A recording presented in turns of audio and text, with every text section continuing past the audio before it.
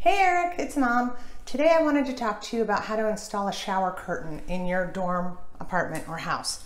So I'm just using a tension rod shower curtain and I'm gonna show you first how to um, put the shower curtain on the rod. I like to put the shower curtain on the rod before I put the, the rod up. So there are two different kinds, there are actually a few different kinds of um, shower hooks. This one will be the easiest. It just is kind of loose, doesn't close up at all. And all you have to do, this one has a butterfly, so I know you're not gonna use that, but um, you see the shower curtain has holes on one end of it. The other side does not have holes, so this is how you know this is the top. All you do is you take this hook, push it in the hole like that, and then lift it up so that it's supporting the shower curtain, and then you just place it on your hook on your rod, I mean. So that's it. That's a very easy shower hook to use. The other kind you might have is a closed system hook. So for example, we have this kind, which comes like this. And then what you do with it is you just press it and open it like that, okay? And then there are gonna be two ways to put this on the rod. One way is to, not, let me move this camera down a little bit. One way is to um, put, put it through the hole and then try to force it over the tension rod and then close it. That's one way to do it. But another way, if you are working with these hooks and you're afraid of breaking them or they seem a little fragile or something, you can take your hooks, put them on your shower curtain first, and then, I'm just gonna swing this around. You will notice that on most of these, one side will unscrew. So let's say you didn't wanna deal with breaking any of your hooks you would just unscrew one side. Oops, that fell down. And then you would put all your hooks on your shower curtain first, then put all of them onto the rod, then close it back up. And that way you haven't broken or damaged any of your hooks at all. All right.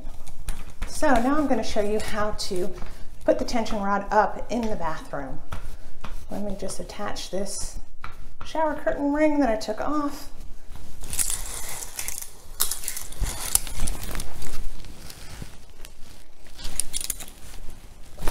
I'm just putting it over, closing it.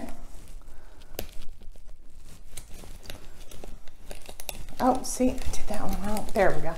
Just push the beads through. Okay, so now we have the shower curtain rod and I'm just going to scoop back. I think I have to move this up again. Sorry.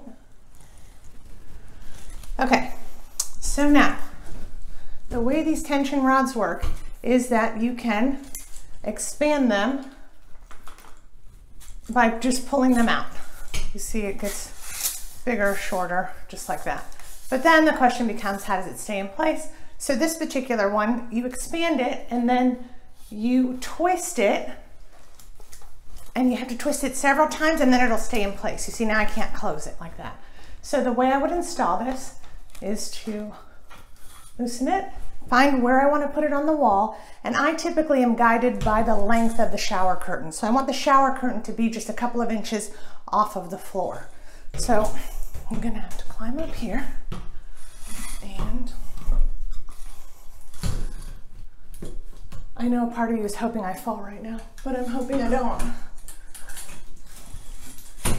Find my distance, and then I'm gonna have it slightly at an angle because I'm going to tighten this and then move it to secure it.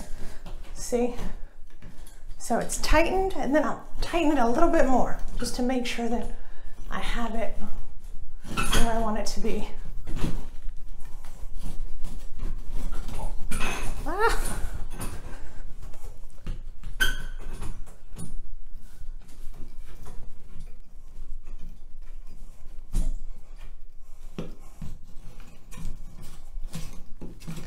All right. At an angle, nice and loose. Then tighten it, and move it into place. And it's the height I want. So, just making sure it's nice and secure.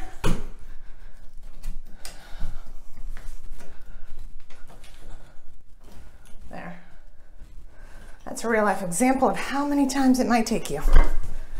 The other thing I wanted to show you is that there's another kind of tension rod